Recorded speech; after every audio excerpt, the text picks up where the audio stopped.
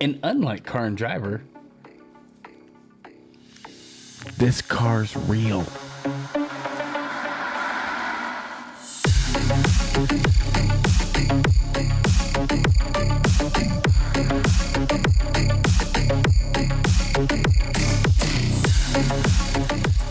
All right, what's up, guys? Welcome back to the channel. I know a lot of channels say that, but I really do mean it. I hope you guys are having an awesome day.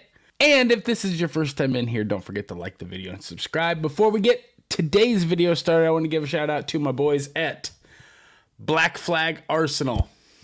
They're local here in Waukee, Iowa. Go hit them up, blackflagarsenal.com. They got awesome prices and the knowledge to back everything up for the people that are 2A friendly, which is pretty much everybody on this channel is from what I'm getting a feel of. Black Flag Arsenal, awesome place to buy guns, ammunition, pretty much anything. Those dudes got a pretty badass selection on everything. Go check them out. Blackflagarsenal.com. Let's go. 2024 Yenko Camaro. This car is going to be the ultimate. Now, I'm going to say before I get started, it's not out yet. It's not released. Everything's hush hush. All, everything is just rumors at this point. It is happening. This car is real, but this car will be the ultimate car, and I have a few inklings as to what they're going to do. It's not, like I said, not being released yet, but we're very, very close. I have a feeling they're going to drop the announcement pretty much as soon as like Chevrolet drops the announcement of the Camaro Collector's Edition. Now, the ZL1, we all know I'm really not anticipating anything super, super special. I mean, it, it's going to be a cool car. I guarantee that. It's going to be a cool car.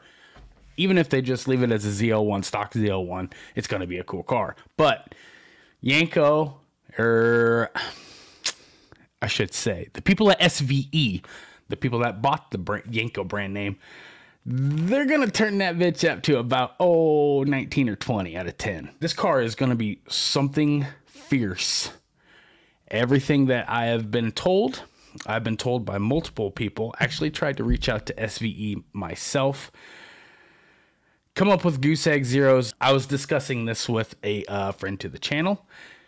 And this car has a lot of potential because the SS1LE is quite ridiculous in its own way. The car is set up, uh, actually, I can't believe it has a $48,000. Well, if you want to go 1SS 47, 48,000 MSRP, if you want to go 2SS, depending on what you do and what you add to it, you can you can go you can build a pretty decent car for 53 55 grand. Manual transmission um the Yenko, I did a video on this before. You guys can go back in my archive and see check out that video. It's actually pretty cool. It was back when I was kind of new to making videos. But anyways, uh, I touched point on a lot of highlights. That was actually pretty good. And I believe that everything is pretty much going to continue on into the 2024. Just the horsepower and performance is going to get cranked way up. I've covered this in a lot of live streams, and we all know the potential of the SS1LE. They call it the baby ZL1 for a good reason. It has pretty much everything that the ZL1 has with some minor tweaks. But I think SVE is going to go through the car entirely and make, you know, changes where they need. Now everybody knows uh, the 2023 is going to be 1100 horsepower in the automatic and 1150 in the manual transmission. That's the way it's always been. They always do 50 less horsepower in the automatics, and they do 50 more horsepower in the manuals. Now, ever since the fifth gen, from year to year to year, they only make 50 a year 50 automatics and 50 manuals. So every year they increase it by 50. It's a lot of 50s. But the simple fact is, I don't think that this one's going to be a 50 jump. I'm I think it might be more like a 500 jump or close to. As I've said before and as I've stated in pr- last uh, previous live streams, the Camaro is kind of overbuilt. It's kind of over engineered and it's and they give you an excellent platform to build off of. The ELSD is rated at 1450 foot-pounds of torque.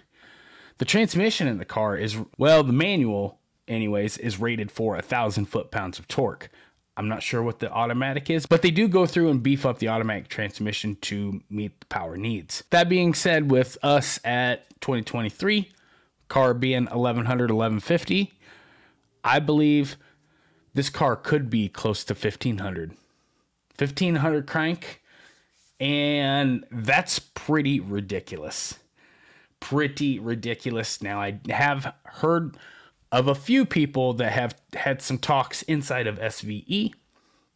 And they said that this car is going to be a monster. It's going to be all out, all stops pulled, just insanity to the max.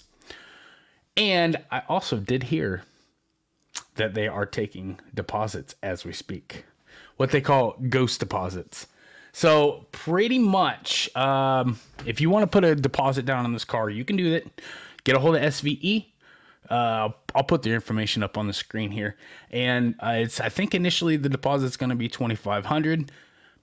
When the car gets ordered from Chevrolet and everything, when the rubber hits the road and the paperwork gets finalized and it's time to sign on the dotted line, I believe it's going to require an additional seventy five hundred dollars, bringing the deposit up to ten grand and that's gonna be the the that's gonna be the small chunk. So if you have a problem coming up with ten grand, I really wouldn't even consider this to be a viable option because typically the standard Yenko package, um, and I could reach out to Tracy if Tracy you're in here and you see this, please comment about how much roughly ballpark a Yenko package costs because I believe it's like eighty thousand dollars.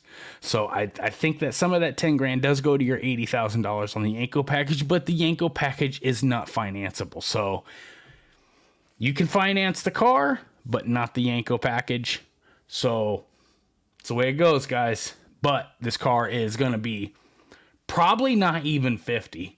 And I don't know if they're gonna make this is their production line or if this is going to be something in of itself that's its own and then they're going to have the 50 automatics 50 manuals then this car maybe like 25 or 10 but i think uh, if the power level does get cranked up like that you know 1250 13 14 1500 horsepower the price is just going you're going to get destroyed.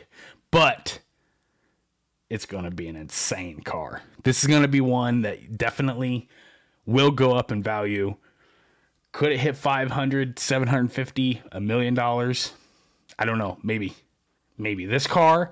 Uh, they're going to do one final rendition of Camaro for 2024. Man, that sucks saying. I'm excited to see this.